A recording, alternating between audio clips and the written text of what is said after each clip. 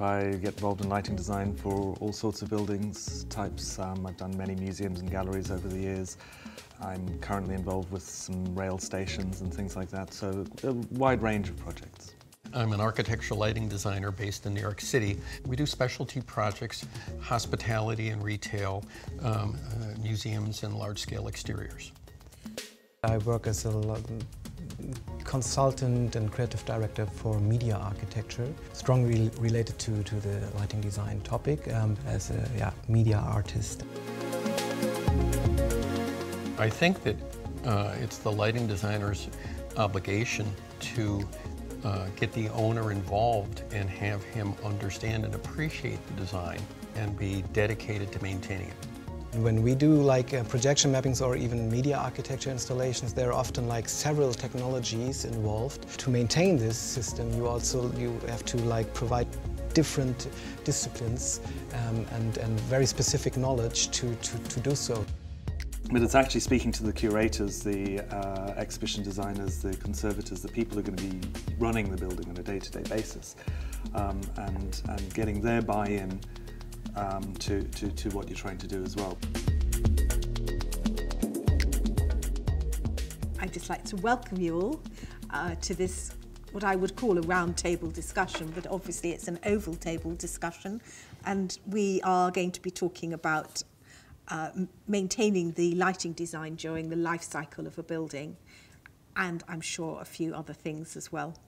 Um, so what I would like to do first is just invite each of you to introduce yourselves, uh, tell us who you are, who you work for, where you are, and what your involvement with lighting design is, please. Do you want to start? Um, yeah, um, I'm Jeff Shaw. Um, I'm an associate director with um, Arup, the lighting design um, practice within the big engineering, multidisciplinary engineering firm. I'm also currently the president of the Society of Light and Lighting and Industry Group in the UK. Um, in my day job uh, with Arup, I get involved in lighting design for all sorts of buildings types. Um, I've done many museums and galleries over the years. Um, I'm currently involved with some rail stations and things like that, so a wide range of projects. Thank you. Yeah, my name is Thorsten Bauer. I'm the founder of UrbanScreen. Um, started up as a like artist collective, but now nowadays it's a firm for in the field of media art and um, um, projection mapping. And beside that, I work as a consultant and creative director for media architecture, which is um, strongly related to, to the lighting design topic, um, but still um, coming out of the artistical background um, more as a, as a yeah, media artist. Um, this is my view on this topic. Thank you. My name's Paul Gregory. I'm an architectural lighting designer based in New York City. Uh, I started Focus Lighting there about 30 years ago, and we have 30 employees. Um, we do specialty projects, hospitality and retail, um, uh, museums, and large-scale exteriors. Okay, that's great. Thank you all. I'm going to be asking you a series of questions now, and we can take those as jumping off points for our discussions. Um, and let's take it as read that if you can give me examples of projects on which you've worked or are working as we go along, then that would be fantastic. Obviously, the lighting design is at the very beginning of the project, but I'm interested to know how you ensure in your design that it will be maintained and maintained properly. I, I think that uh, it's the lighting designer's obligation to uh, get the owner involved and have him understand and appreciate the design and, and, and be dedicated to maintaining it. That if that doesn't happen in the beginning, that this building will look beautiful, it'll be exciting, it'll be the cover of your corporate magazine, it'll be in all the news, and it's going to require this much maintenance. Do you agree with step one and then step two, the maintenance? I think that's very true. Uh, um, uh, it's also about speaking to the right people a lot of the time. You, you could be working on a high profile museum which is bankrolled by a particularly rich benefactor, and he's got a certain vision for what uh, he wants that building to be, he or she. Um, but it's actually speaking to the curators, the uh, exhibition designers, the conservators, the people who are going to be running the building on a day-to-day -day basis, um, and, and getting their buy-in um, to, to, to what you're trying to do as well, because otherwise it, you, could, you could have something that, like Paul says, looks beautiful on day one, but uh, if the people working in that building don't know how to use it, then uh, it, it, it won't be maintained that way. Uh, but, but I mean, there are also like a lot of new technologies um, coming into uh, lighting design, and, and this also needs new strategies for, for, for the maintenance. Mm. So when, when we do like uh, projection mappings or even media architecture installations, there are often like several technologies involved that, that are integrated in a very complex IT system. So, so a lighting designer, uh, to maintain this system, you also you have to like provide different disciplines um, and, and very specific knowledge to, to, to do so. So this also needs new strategy for, for, for, for this, which is um, kind of challenging, I think. Because you need to get a balance, don't you, um, for the people maintaining the building between them having a certain amount of freedom uh, in terms maybe they're using different scenes at different times or maybe they're going to do something special. So you want to give them freedom. But on the other hand, you don't want them to have so much freedom that they accidentally mess up your lighting design. With, with lots of freedom can come lots of complexity as well, yes. which uh, uh, sometimes it is simpler just to give them a light switch or a dimmer than it is, and it's appropriate for what you're trying to achieve as well. I think it depends again on that engagement with the client and engagement with the users of the building and knowing what they are capable of, uh, no offense at either end of the spectrum, but and what they need to be able to do. That's interesting. We often, my background's theater, and we often use Broadway as an example. And the show opens uh, and runs for 10 years, and it's supposed to be the same show for 10 years. Mm-hmm. Eight shows a week, exactly the same. Same pauses, same light cues, same intensity, same everything, which is difficult. Uh, but it's been done on Broadway for 60 years. It can certainly happen on a building, mm. Is our point of view. Mm. I, I, mean, we, we don't provide this much freedom to the customer. And they, they, they often don't want it. They, yeah. they, they want, yeah. like, give me the switch. Yeah. Um, or in our case, like a content management system where, where they can, can, can provide some video files for the media architecture. Uh-huh. But they don't want uh, this complexity. Um, so, but in the background, there is complexity, and this question is like how you handle this. Mm. And um, um, yeah, because you need really specific uh, types of engineers for, for every topic.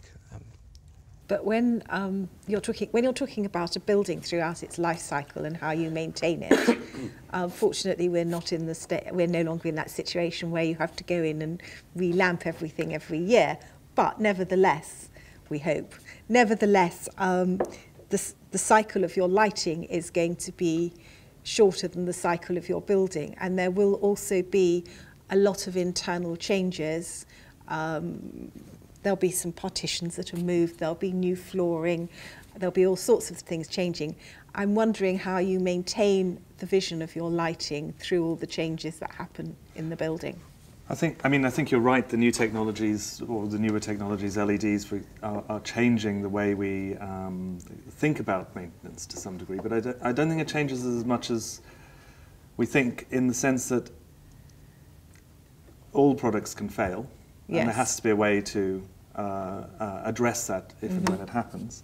And also, just because you're not having to relamp for the first 10 years of the life mm-hmm. of the mm-hmm. building doesn't mean you shouldn't occasionally go up and clean or uh, um, we, we design to certain levels of maintenance in terms of the cleanliness of buildings, in terms of the depreciation over time of light levels and that sort of thing.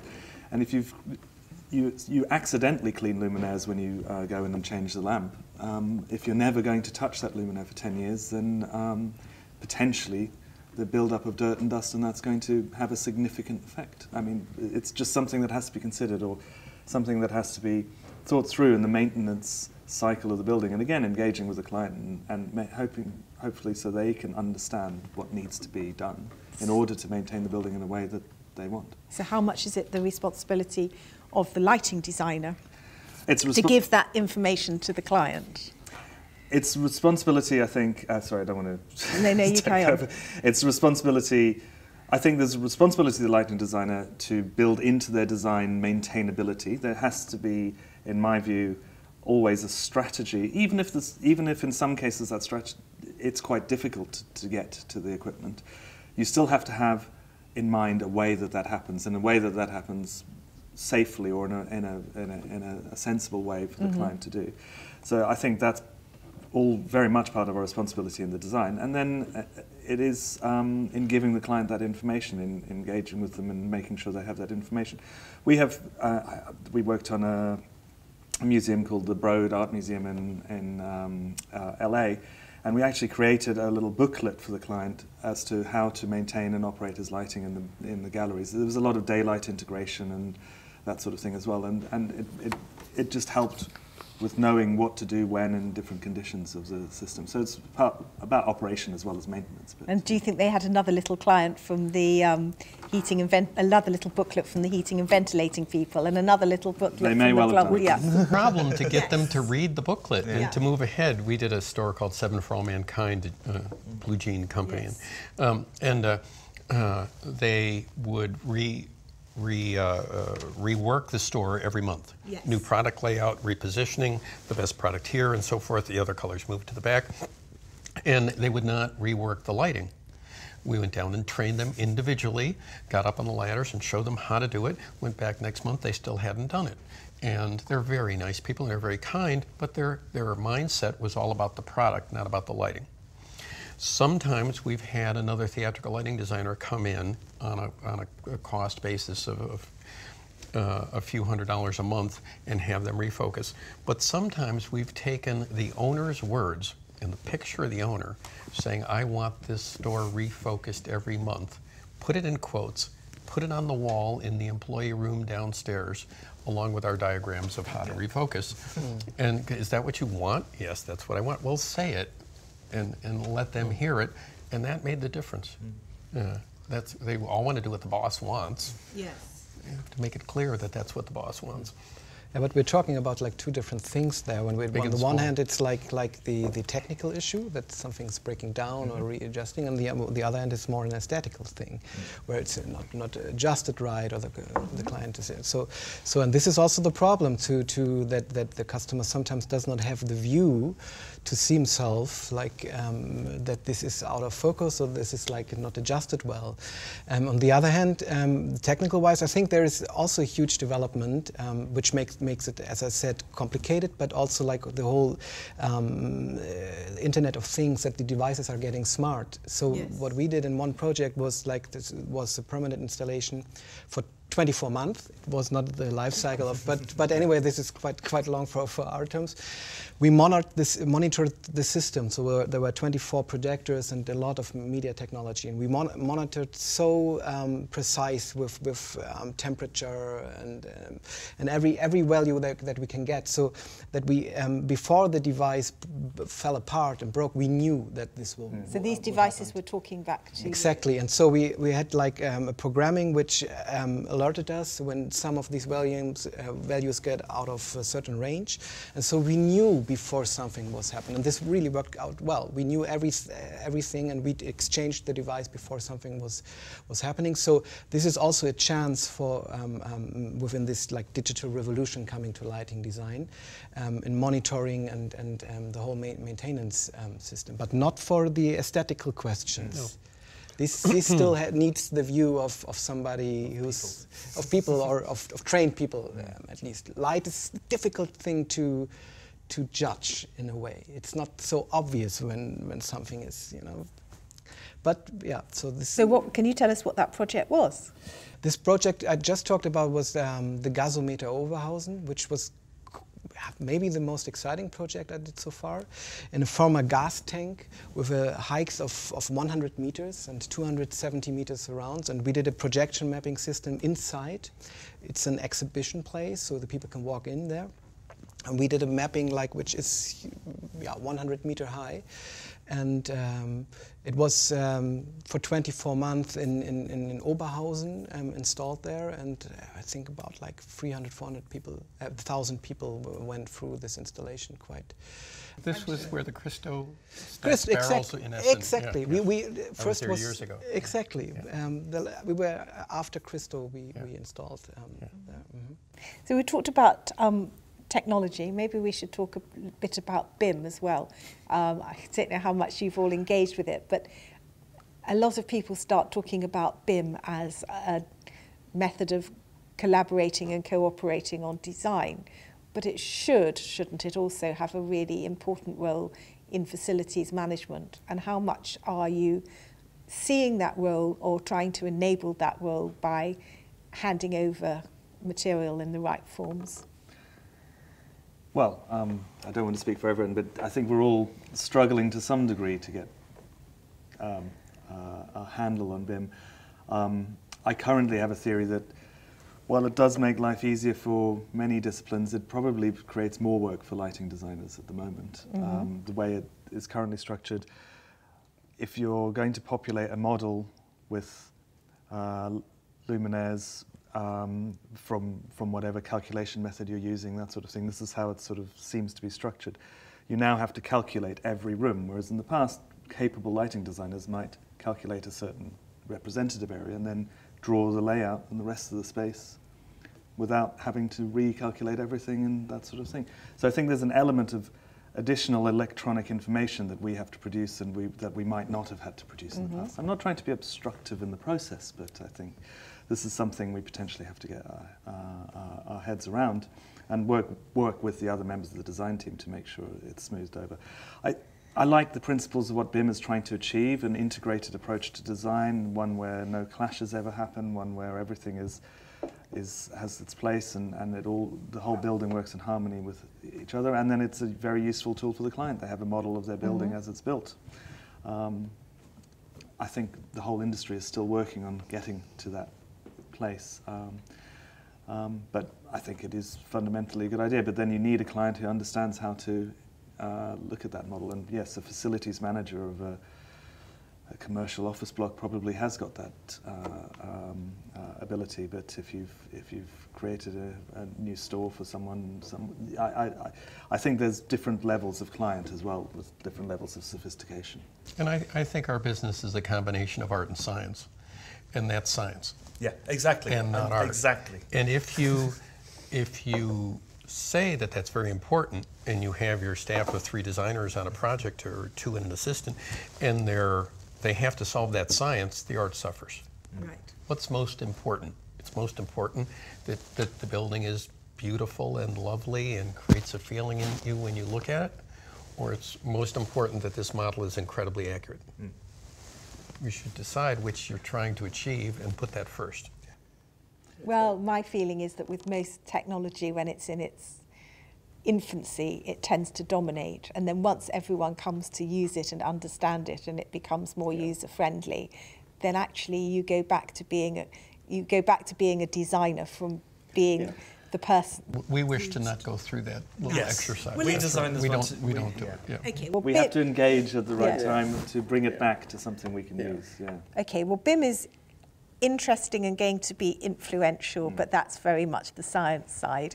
Um, I think people get more excited about virtual reality, and I'm just interested to know how that influences your lighting design practices and secondly, and I find this harder to get my head around, whether you feel that that has a role in the maintenance of lighting design virtual reality, I think it's, it's a huge topic. So when we did this Hamburg Klubhaus media facade, which was basically a lighting system which could show off pictures, but, but still was a um, lighting system, we had um, asked our, our technical provider to, to build a virtual model where, where you can actually um, walk through the building and stand um, and have different views on. And we needed that because uh, it was such a complex system that aesthetical wise we could not, not imagine no more what we're doing there when we, was, when we were mm-hmm. programming. We had really to, to, to see um, what we're, uh, we're doing, and this uh, helped a lot. So virtual reality in the process of creating lighting design is, um, in my sense, uh, an important topic um, will, will raise. But the other, on the other hand, um, the building itself, when we talk about like media architecture especially, is a virtual, or let's say better, in augmented reality. So the digital is, is conquering the urban space and the digital is conquering the architecture. It's um, mixing, um, yeah. There's kind of a new discipline which is in between digital and, and, and architecture. And this is a whole new topic for the architects on the one hand, who are not trained to think in something that can change over time. They're trained to like establish a, a statement and this is everlasting. And on the other hand, we have like the lighting designers, the, the, the media designers, and um, all these guys like influencing the media part. And and and this is like um, a huge topic where I'm and very very like edge topic, mm. where still um, good decisions have to to make, and where still. Um, yeah, we have to really think um, our mind how this will influence and change our urban urban um, spaces and, and all this. And so um, when we bring like this topic of digital revolution to, to, to um, the, the issue of lighting design, I think there is a lot going on and we really have to rethink in many um, terms what we're doing in the next, um, in the coming years. We've had difficulty with the fly-through of a building mm. becoming so important and such a discussion point and so exciting where really there are six views that are critical, right. not 6,000. Mm. And you lose those six in those 6,000. Uh, rather than saying, you know, you, you get out of your car, you look at the building, you, it creates a first impression. Mm -hmm. It has, it's a painting, it has a foreground, a background, a frame, and a focus. It's, it's a thing, it's a, it's a picture and you go up to the front door and you open the front doors and you look into the lobby of a hotel and you create a second first impression. And then you go to reception and you look to the lobby and you create a third first impression. And those are your three impressions of that space. It's not every moment walking through. You can't process that much information. Your mm-hmm. mind casts it away and just remembers those three or four or six views. And we try and teach people to design for those views not the entire space. There's how you feel in the space. And Jennifer Tipton's a great lighting designer. She teaches theatrical lighting design at Yale.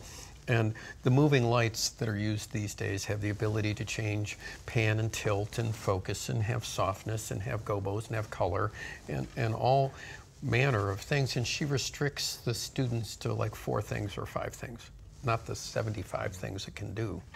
But, uh, um, and you get a better design. Um, with science, you can go to the nth degree and try and make something as photorealistic as possible. Mm -hmm. um, but actually, in a way, I think that can be counterproductive as well. I think as long as you kept in the what you're showing the client, what you're trying to sell, as long as you're conveying the feeling and, the, and how the space is going to be, actually to make it too realistic, it gets them putting a picture of your rendering next to the finished space and going, well, it's not quite like it is. But if it looks sort of not quite real, then they don't expect it to be exactly mm -hmm. that, mm-hmm. but they, they still get the information from the, the visuals you're giving them. Um, where virtual reality might be a good tool uh, for at the design end, I'm aware we're not talking about maintenance at mm -hmm. this mm-hmm. stage, um, is, I mean, I'm working on, at the moment, on um, the Courtauld Institute of Art in Somerset House in London, oh, yes. which is uh, a listed building, uh, a lot of very ornate uh, spaces that we can't adjust too much and that sort of thing. Where it's a renovation of an existing building, there has been a survey which has created a sort of 3D model of the space. And, and to be able, we, we haven't got the ability to explore that with virtual reality goggles, but there is a, a site we can go walk around. So in the design process, to be able to go, oh, I, I didn't look at that when I was last there, and to be able to quickly see sort of whether there are certain things in that corner that gets in the way or something like that, without having to visit there every time and or get someone to send you a photo or something so like we're just i mean we're talking about things at the level of knowing whether the existing cornice casts a exactly. shadow. Yeah. That sort of thing. And and where the, where the spaces can be very ornate and detailed uh, they're not just blank boxes and and you're trying to work out what you can achieve you might not have captured all that information the last time you wandered around and that sort of thing. So to be able to sort of virtually visit again might be quite useful. I'm not saying we're doing this to a full degree but there I can see that being a tool in the future. Um, I mean, in the moment, it's like, like as you said in the, um, in the beginning, every new technology, every new tool, we try to integrate and then we try to play every possibility that it, that it, it offers. And often, and I agree totally with your point, it's just this free views you have and you want to have. But still, the stereoscopic view out of these free views is, is something, something Yeah, different. true. Um, different. Um, so I think it will help, but in the moment, it's it's little bit. We're still a little bit in a hype about this team um, mm, and this will adjust to a certain level, and it will help in the future. Um, yeah. We were working on the Marriott Marquis in the middle of Manhattan, and uh, we were having a design meeting with them, and this was 10 years ago. And they said, now this is Marriott, not the, not the incredible design wizards of the world, said we do not allow Photoshop in design development as it stifles creativity. it was true, it's true, but I never heard Yeah. corporate people say that mm. before. And it was very smart, very wise that Can you explain that a well, we bit want more? we want sketching. Mm. We oh, want Oh, okay. when you have a Photoshop rendering and glossy paper down there, nobody touches it. Mm. We want marking on it. We want a design. We want to, we don't want to hold back during design development.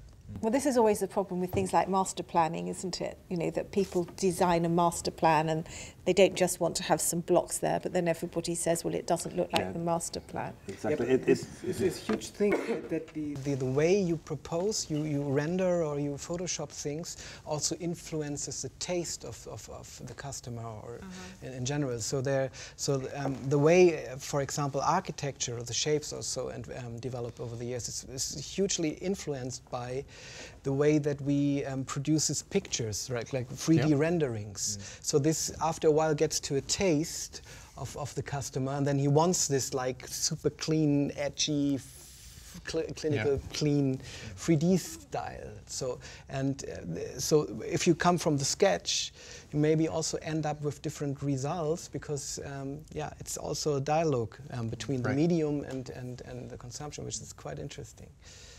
But it's quite, in, I mean, the other thing that's interesting is how much, when you do something, especially if it's temporary, um, part of his success is how it gets consumed around the world. I mean, especially if you do it somewhere relatively small that not an enormous number of people go to. I mean, even things which you call successful, there'll still be thousands of people. They won't be hundreds of thousands of people. And then, of course, the question becomes, is it real or not? You know, because it, it's going to be known through its photographs. The photographs will be photoshopped. and actually, could you just post the could you just post the rendering and not really worry with doing all that technical Very work? interesting point. I mean, there are some, some guys in the world who's, who had done this, just Photoshop these installations. But there is something special if you uh, kind of if you brought it to real life, and then again, I mean, I have this story. Uh, we had made an um, installation in Thessaloniki, and um, I was like the one responsible for bringing um, the content to there, and it, was a last-minute production anyway. I was sitting in the plane and bringing like like a holy thing. I was like keeping the the, the hard disk um, to myself, and then directly going to the thing and putting putting it on the media server. And I was released. So I was okay. I brought this stuff here. It was a huge um, production. All right, and then I started filming documentary um, of the of the situation and filled up my um, hard drive again with these pictures and then I had to bring these pictures back, and it was heavy again. I was like, oh, I have to bring them back. So, well, the point is, um, we bring something in the reality, and then we digitalize it again and bring it to the internet. Um, but without this circle of bringing it into reality, Yes. it wouldn't have been the same. We could, and we have like the 3D models and everything. We could fake it, but it it is it's um, kind of like you know when you do wine or beer, you have to, to take a certain time. Or whiskey, a good whiskey Yeah. needs 10 years. Like a good projection mapping has to be out there, Yeah. and then um, back uh, kind of uh, yeah. Or it's theater versus film. It's the best thing say you Yes, can. yes, It's yes. real, or it's the best thing you can make in a lab. Yeah. Uh, and if you're at the theatrical production and the actor's 30 feet away, that's in the, saying those words. They'll never be said exactly that same way again, and it's real. But maintaining the um, maintaining the topic with virtual reality, I've like, I was recently working with a with a very brilliant engineer about the idea of. Um, so we ha- have a customer and he's building like um, what's it called um, high-end um, boats, yacht Yeah, yachts. yeah. yachts, you can say, yachts, and um, like this really huge one, um, and they have the problem. So if something breaks apart, and you, uh, the customer is somewhere in the don't know where. You have to bring a technician there and to, to do the maintenance. And so he has an idea, and he's working on this um, um, situation where you can bring a virtual engineer to a place via. Um, via um, virtual reality um, goggles, and um, there has to be an assistant, like janitor on the boat, uh, kind of, who fixes. Yeah. But to, to solve the problem, you maybe in a few years don't have to be um, at the place. So also this is like um, co- can change the, the idea of being present as an engineer to do the maintenance. And, and I think another option is, um, or another thing that could be quite interesting in the future is augmented reality. Yes. Which um, I, I've read recently about, uh, you know, warehouses give all their staff um, Google Glass or whatever is the current version of augmented reality goggles, so that you know they're, they're supposed to go and look for a certain product and they're directed by um, things Yeah. that are projected in front of their eyes. And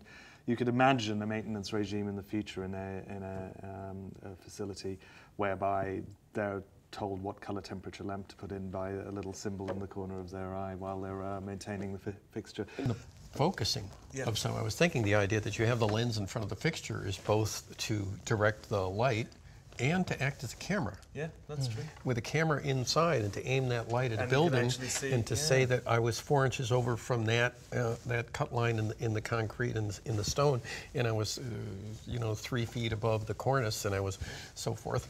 Uh, to have that be stored and be able to be repeated and then beep beep beep beep beep when it gets closer you know it's it goes to a solid tone and it's directed properly it's not that far away No, it's not. that's uh, very totally. I mean, that's in- an interesting idea In, in, in, in projection, we do this like Yeah. uh, like like this. It's um, it's a little bit different technology, but but these self-adjusting um, systems are are um, on the market right now. So.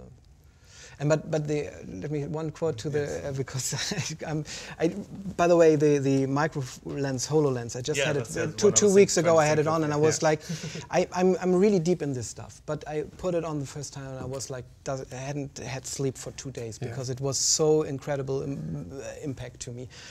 Um, what is possible in the future? But we can, I think, in the whole maintenance thing, we can see one thing that the technician who's like on site um, doesn't have to have the knowledge about the system. He only has to be trained well in the skills that uh, how Yeah. to rewire and how to don't know fix something. But you can send anybody somewhere and put on the glass, and he, the, the glass will explain everything you need to know about the system, so provides you with knowledge, and you only need, need the skills. And so, so we see like what's it called? Uh, on the one hand, A centralization of the expertise, I suppose. Exa- exactly. So on the one hand, the knowledge, and on the one hand, the expertise, the handcraft. So and this divides um, um, or falls apart. Um, um, I think. And then after a while, we won't need the technician. We can send It's the robot computer. onto No, the no, Yes. I side. don't, I don't think so. Uh, and then it could so. be a computer at the other end Yeah, as yeah. well. yeah, yeah. I don't think so. I think the first, maybe in 25, don't know, uh, years. Uh, but but in the moment, we, it's, it's more like that. That it's even with Google. Yeah. I mean, we are when when you when you Google something, you don't remember things. You just remember Yeah. the way to find it. It's like that the knowledge is getting externalized. So and this is also like um, a principle of of, of um, um, yeah of our working. When I was a kid, I remembered everyone's phone numbers, that I, all my friends' phone numbers. Now I don't know any, I barely know my own. So, But using video to, to handle maintenance, I was at the St. Louis airport or some airport, and there was a Ned Kahn sculpture. Ned does these uh, two and three story uh, tornadoes. Uh, Ah. We did one in the Museum of Science and Industry in Yes, yes, Chicago. yes, yes, And this was a little eight foot tall one in, a, uh, uh, in the concourse of an airport. Now, you can't get there to maintain it without credentials. So it's not like you can have somebody from your office just swing by and take a look. But you can put a camera in the McDonald's across the hall and, and photograph it and understand if it's working or not. It wasn't working, it was embarrassing. Uh, he didn't know. How can, how can we solve that? We worry that our, we have a, uh, uh,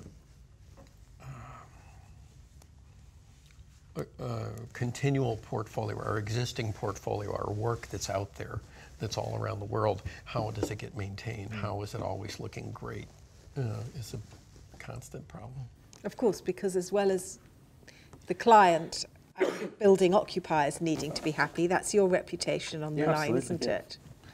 But there's also like other issues coming in when we talk about maintenance. It's like the, the idea of sabotage um, and hacking such systems. So they're more and more getting um, digital, Yeah. and they're more and more like maintained from outside. So uh, Overwatch, which means that you have like some kind of connection, and if somebody you can ha- hack it. So- yes, yes. In media facades, this is a huge topic. Just Oh, really? imagine. Yeah, of course. Well, it's a huge change topic. what the You- facade you- is. There's a big facade in, in the Reeperbahn, as, Yeah. as I told the project we did, and it's a huge place and much attention there. Uh, Imagine there is somebody hacking in, and also lighting systems are getting s- more smart and smart. You can like shut down a whole building with one.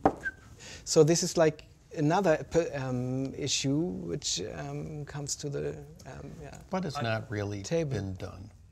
That any place that I've ever known. Maybe we, sh- we should not heard of. say this in. in We don't, we don't want to issue a challenge. Not yet. for something that Don't say that. There are thousands of hackers Yeah. like getting inspired. As we talk here, all the Yes, lights will go exactly. down. Hasn't been done. there are more exciting challenges out there. um, we've talked a lot about advances in technologies and things, and obviously, all you guys are, in a sense, dependent on what the manufacturers make. So it's a two way relationship. I'm interested both in how their advances in technology affect what you will design and also how you communicate your needs and can actually have an impact on what is manufactured. I, I think we do it every day. Uh, and the biggest part of it for us right now is diagnostics. That there's so much going on with the light, there's so much going on with the control system, and there's so much going on with the distribution uh, technology that, that brings it up. Well, if it's not working, why?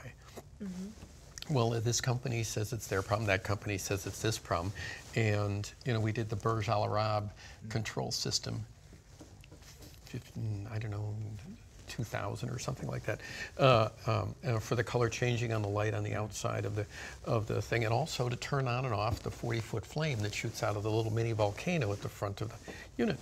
And uh, and so I designed it with a, uh, uh, uh, kind of a neon light bulb inside, and we would turn on the neon light bulb.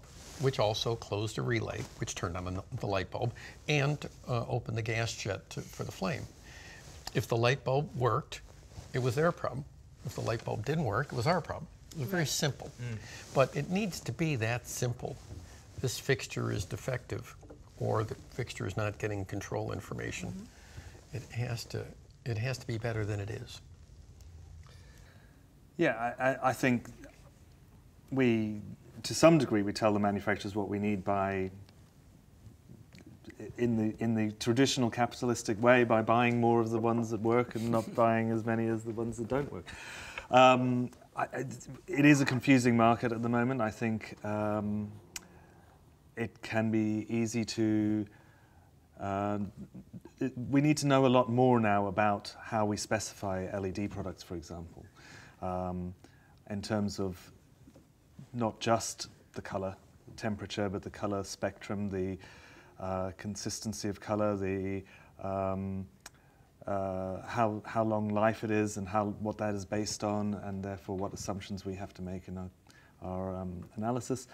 Uh, there's a lot more. It, it, you used to be able to specify a certain type of lamp, and you knew what you were getting. Now Yes. you have to actually um, specify step by step the performance of the product. But the more we do that, the more we push manufacturers to produce what we need to. And in a museum, you need particularly high color rendering, a good spectrum of light, and good consistency of color, because if you've got a row of 15 spotlights, they all have to look the same. Um, so by specifying that, you limit the number of manufacturers that can supply that to the ones that are already able to do it. But then we have to work with the manufacturers to make sure we're specifying realistic targets at the same time. Um, but Yeah, I think re- you're you're um, right on point because it's your job on this project. It's about color. On this project, it's about consistency. On this project, it's about maintenance. We did in Atlantis, in the, in the Bahamas, uh, uh, we did a project of, of uh, uh, uh, lights that were behind glass. Thousand lighting fixtures behind glass, all aimed through the glass. And they were glass doors, easily maintainable, no problem. Well, sometime during the design, they cut the, the hinges, the doors, and they were just permanent glass that going be put there forever. And well, what, what, what are we going to do? I called the owner and I said, This is a huge problem. If this fails back there, it's going to take forever to get the glass off. It's going to look terrible. You know, chances are, if you run it for five weeks, it'll be fine forever. But, you know, he said, Well, let's put it in now. Let's run it for as long as we can. There was 40% failure because there was a bad chip on the board. The glass hadn't been installed. The manufacturer in this room flew down a team of people and changed every fixture at no cost. Uh, and uh, it was, it was, but it was because the designer said, Yeah, what could go wrong? Look for the problem. Don't wait for the problem. Exactly, it's planning ahead. It's having the time. I worked on the Tate Modern extension recently, and and there we barely had time towards the end of the project. But it was making sure that you you had the lighting installed. There's some backlit ceilings. There's uh, LED spotlights. It's making sure you had time to find any problems. As it turned out, the, uh, the LED spotlights all in one level weren't very consistent in color. There had been a manufacturing fault.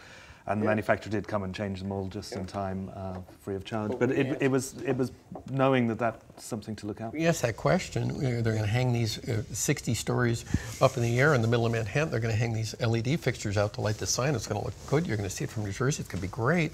What if they fail? Manufacturer, what will you do? Yes.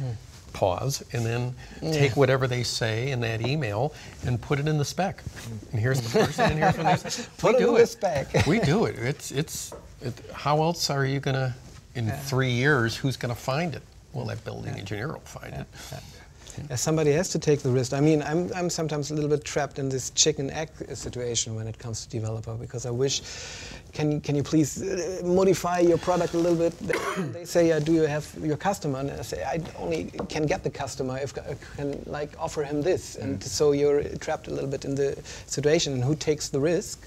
Um, and if you write it in the specs, the the owner takes the risk. Um, which sometimes works if you Yeah. have a good relationship to him. So And what happens? I just, I never thought about this before, but we talk about um, the lifetime of fittings and how long they last and how durable they are, and if they fa- if they don't fail in the first five weeks, they should be all right. You presumably buy an enormous amount of kit, use it for six weeks, occasionally for two years. What do you do with it at the end? Yeah, we have a like, um, what's it called? Ceiling? No, uh, roof? Uh, Yeah. uh, uh, Attic. Attic. Attic, Yeah. yes. no, we store it All up there. basically. So, but but in basically, I mean, for our, so we a little bit stepped away of, of buying stuff and more are in the rental market Ah, now. okay. though. So so so, but sometimes we have uh, have to buy because um, it's related to the pro- um, project that um, we own the stuff. bespoke or- yeah. Exactly, and so we need, um, yeah, we, we try to reuse it, but um, I mean, the life cycles of the te- these technologies we use are often very, very short. So after two years, for example, the whole projector setup out of uh, the gasometer, uh, after two years, it was like crap, so you, you could throw it away, kind of, not really, but so. Yeah. So it's a, g- g- more a calculation thing um, um, in the end. I mean, what about the whole the life cycle of the building, which we know in, involves a lot, a number of smaller life cycles. You know, right down from there's your building, which you hope is going to stand for 60 years. Um, there's the lick of paint on the stairs that you have to do twice a year, and there are a lot of changing things somewhere in between. What impact do you think you, as lighting professionals, can have on the sort of durability of some of those intermediate life cycles? Or, on the other hand, what impact do they have on your design? I think that it's education of the owner once again. That, as you said, the, the you know, it used to be in a Sheraton, uh, you had to change the carpet every seven years, Yes. uh, and you had to do this and you had to do that, and the paint had to be done, and there- there was the schedule of it. But lighting was not on the schedule. It was never in the mind. Right. I mean, originally taught in architecture, there was building systems was one of the classes in our Yeah. School of Architecture, and it was heating, plumbing, air conditioning, and lighting. Those four evils that can hurt your building. Right. It was not a design thing. It was not paint or color or, or wall coverings. So that to say to the owner, you're, are you dedicated to some amount of maintenance? You're dedicated to changing your computers in your every seven years in your front office of your hotel. Yeah. Are you dedicated to changing the computer that controls your lighting Uh-huh. every seven years? Because it's the same computer. Yeah. It's got the same power supply. It's the same. Didn't used to be that way. It is now. And to, to bring them, to keep mentioning those a little bit at a time, introduce that one idea that, you know, the computer and the lighting system is the same one that's in your hotel, running your uh, hotel accounting system that you change every five years. And then the next meeting, something else, and the next meeting, something else, and slowly elevate lighting up to something that uh, they understand they have to maintain. But isn't it a good business model to also sell the service of maintenance for, for, for you to just say, don't care about anything, Yeah. we care about the next 10 year contract it and It's, I think it's been. I think the, the companies hosting us today have experimented with a model whereby they sell the lux level. They sell the amount of light, and, and it's up to them to maintain the lighting. And if they want to change it to something, to upgrade it, uh, they, they do that. You're buying, you're renting the light. You're buying the light as a, as a service. It's not a model that the building industry is pretty is, is, is well suited to at the moment, or, or is Yeah, and you, I mean, you work, you work for a very large consulting Mm-hmm. practice, so I could just about imagine that Arup might want to go in and say, might want to go in and say, okay, we'll maintain the lighting in this Mm. building in 20 years' time. But you know, you guys, you're very successful, but you may go off and create some new partnership. You don't want an albatross around your necks, do you? No, but we found, um, you know, we did many years ago, we did 44 Planet Hollywoods all around the world. It was a restaurant, it was just a restaurant. It was a very successful restaurant, and it Yes. was had many, many, many, many 400 or 500 adjustable accents lighting up all the memorabilia in those restaurants. Yeah. And I would get phone calls from people saying, it looks really good, it looks really well maintained. How is that? And we would go to the theater department at uh, uh, University of Las, uh, Nevada at Las Vegas, and, uh, and they would send over two students and the lighting designer to maintain it once a month. And we had Margaret Nelson in Chicago would maintain the one in Chicago, and somebody else in Miami, and somebody else in Florida. And we found a person in each of those locations who would be dedicated to taking care of that. And we would put them together with a manager and say, would you hire this person uh, uh, once a month for four hours and give them free dinners and so forth? And, uh, and, and either they would agree or not. If they didn't agree, we'd get the owner on the phone and we would work out the agreement. And, and then it was up to him to maintain that with the next manager. But, and it worked for seven years, eight years. Uh, It was that's very good. Well, that's really that's fantastic because that's brought us down to an incredibly clever but very low tech solution. We've been talking about very high tech. Now, the last question I have to ask you, I think I'm going to rephrase because it says, you know, what will your lighting design be like in 30 years' time? Well, I hope all you guys are going to have made so much money that actually you're going to be sitting on your lounger by um, whichever beach you choose. But maybe I think that's too too far to look ahead. But maybe you'd be interested to look ten years ahead. Is that more reasonable?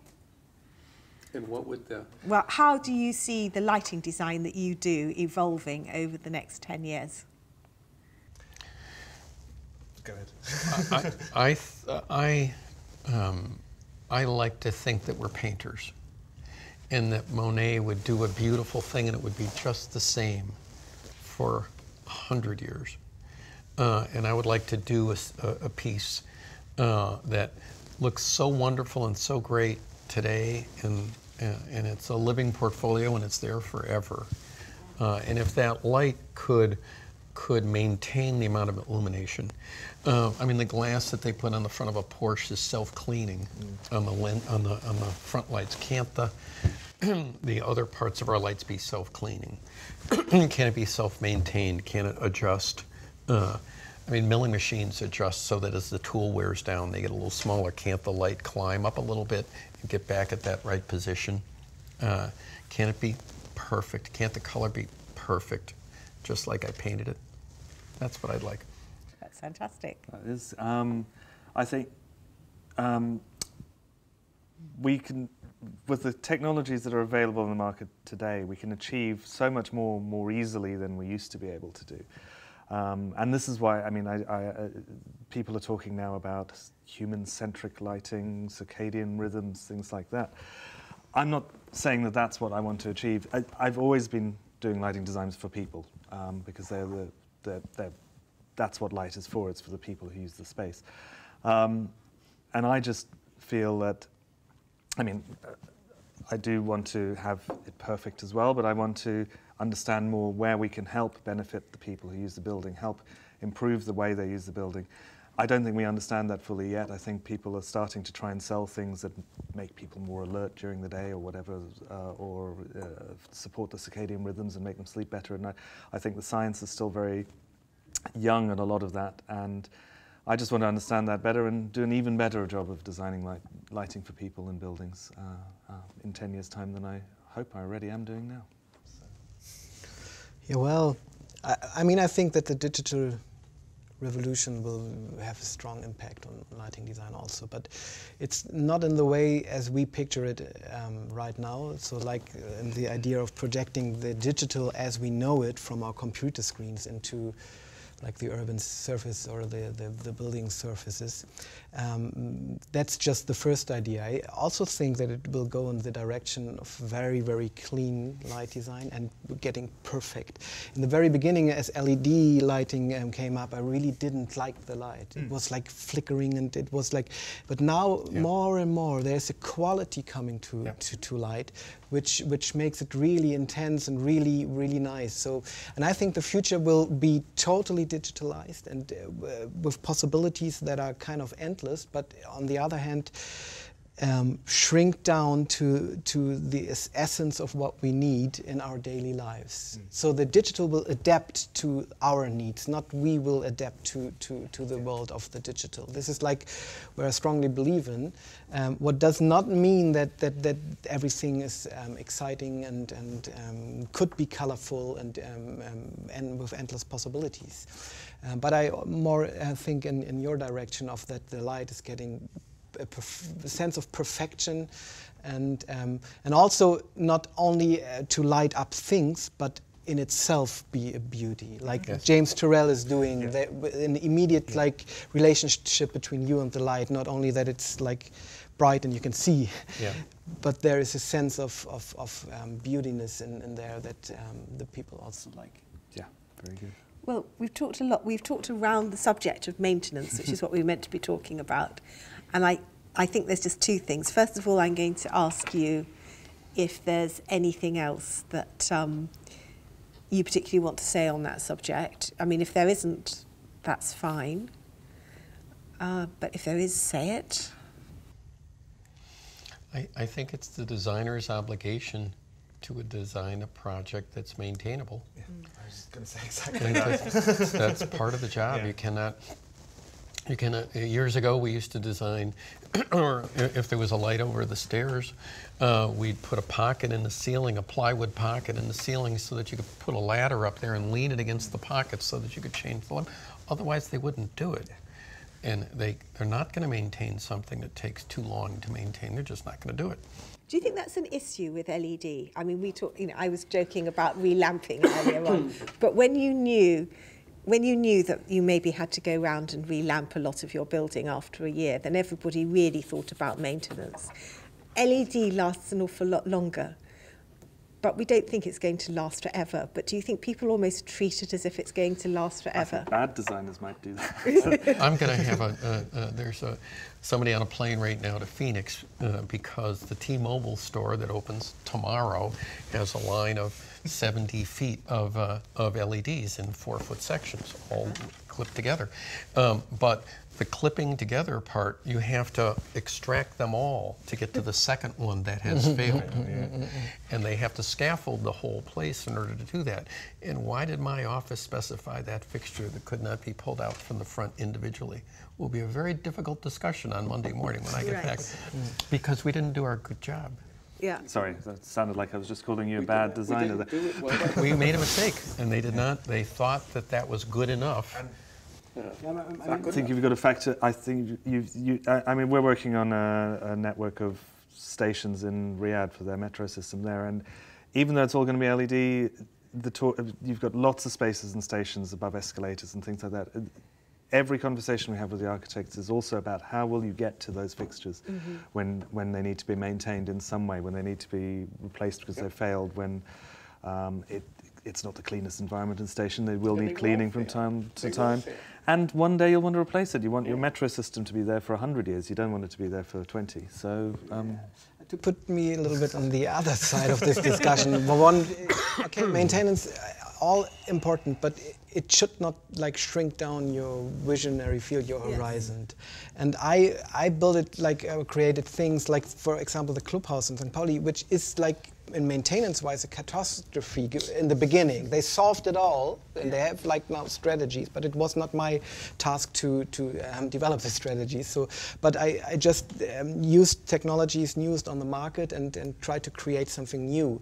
And within this like creative process, if you then think of maintaining strategies, it, it'll mm, sometimes is too heavy to to um, bring you to, to an open vision or to really something new. So um, yes, but still um, the, the first idea or uh, the first vision of a lighting design should not be influenced by that. And after that, there should be somebody who's clever. um, yeah, the first vision doesn't have any fixtures in it. The first vision is about where the light goes. Yeah. So. Yeah, true. Okay, well, I think that's most of what I wanted to ask. I'd like to thank you all very much for taking part, and I've enjoyed this fascinating discussion, and I hope you've all enjoyed it as well. Thank you.